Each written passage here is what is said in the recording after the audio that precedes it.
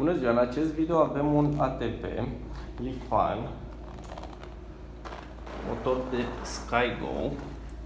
Pornește foarte frumos merge foarte bine motorul dar să vedeți ce se întâmplă. Să spuneți părerea de la ce credeți că este. Uh, o să lăsăm filmulețul 2-3 zile și apoi o să revenim și cu rezolvarea problemei.